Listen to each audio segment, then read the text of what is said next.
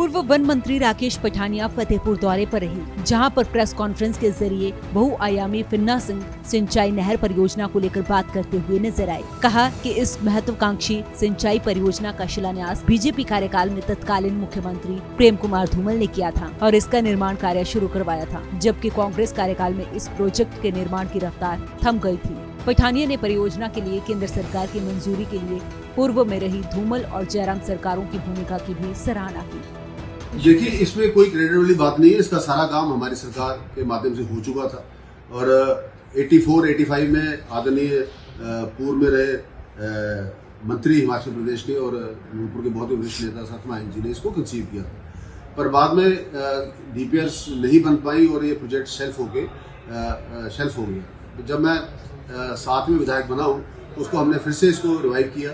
मैंने आदरणीय प्रेम कौर धूमल जी को, रविंद्र रवि जी को निवेदन किया और उन्होंने मेरी मदद की। हमने इसको प्रोजेक्ट को वापस पीना सिंह नहर के प्रोजेक्ट के रूप में आई आईपीएस डिवीज़न में ट्रांसफ़र किया, नई डी डीपीआर क्रिएट बोर्ड की बनाई और इसको हम लेके भारत सरकार के पास गए। हमने सी से क्लियरेंस भी ली, हमको स्टैग से भी क्लियरेंस मिली, हमको जो है फॉरेस्ट क्लियरेंस हमने अप्लाई किया, उसके लिए जो हमने ढाई करोड़ का शेयर जमा कराया। और उसके बाद ये प्रोजेक्ट की हमें अप्रूवल आ गई। वहीं राकेश पठानिया ने फिन्ना सिंह सिंचाई नहर परियोजना को लेकर प्रदेश सरकार पर जमकर निशाना साधा। कहा कांग्रेस सरकारों ने हमेशा से ही इसे नजरअंदाज किया है। दो साल में आप बजट बताइए एलोकेशन बताइए फिन्ना सिंह कितने पैसे दिए? इन दो साल में मैं आपको बजट एलोकेशन दे रहा हूँ कि तीन साल में हमने लगभग पौने दो सौ रुपए दिए। आपने दो साल में क्या दिया या उससे पहले बारह से लेकर सतारह तक आपकी गवर्नमेंट थी आप बजट प्रोविज़न निकाल के बताओ। इसमें बहस करने में तो मुद्दा लेट द पेपर स्पीक आप बताइए कि आपने क्या बजट का प्रावधान किया? मैं सात से बारह तक मैंने क्या किया? मैंने आपके सामने रख। दिया सतारह से लेकर तेईस तक मैं रहा मैंने क्या किया? मैंने आपके सामने रख। दिया hundred and one percent project ये सात और बारह के बीच में और सतारह और बाईस के बीच में बनकर तैयार हुआ है। जो थोड़ी सी कसर रह गई है, हम इसको फास्ट ट्रैक में ले आए हैं।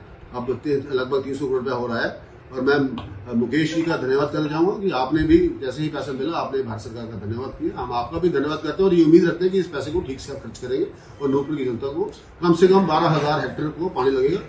पेपर्स में पाँच हज़ार हेक्टेयर के डीपर प्रोजेक्ट गौरतलब है कि पिछले लंबे अरसे से नूरपुर क्षेत्र में सियासत की केंद्र बिंदु रही फिन्ना सिंह सिंचाई नहर परियोजना को लेकर एक बार फिर सियासी जुबानी जंग शुरू हो गई है। हाल ही में केंद्र सरकार की ओर से नूरपुर क्षेत्र की अति महत्वाकांक्षी सिंचाई नहर परियोजना को प्रधानमंत्री कृषि सिंचाई योजना में शामिल किया गया है और इस प्रोजेक्ट के लिए दो करोड़ रूपए भी मंजूर किया गए हैं। सूर्य समाचार के लिए कांगड़ा ऐसी रविंदर चौधरी की रिपोर्ट।